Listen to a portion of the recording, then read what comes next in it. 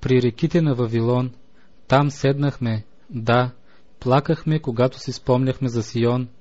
на върбите сред него окачихме арфите си, защото там онези, които ни бяха пленили, поискаха от нас да пеем думи, и онези, които ни бяха опустошили, поискаха веселие, като ни казаха, попейте ни от сионските песни, как да пеем песента Господня в чужда земя? Ако те забравя, Ерусалиме, нека забрави десницата ми изкуството си, нека се залепи езикът ми за непцето ми, ако не те помня, ако не предпочта Ерусалим като най-голямото си веселие.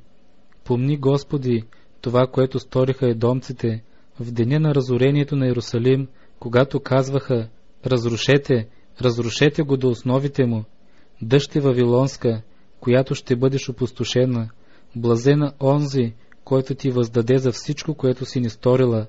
блазена онзи, който хване и разбие о камък малките ти деца.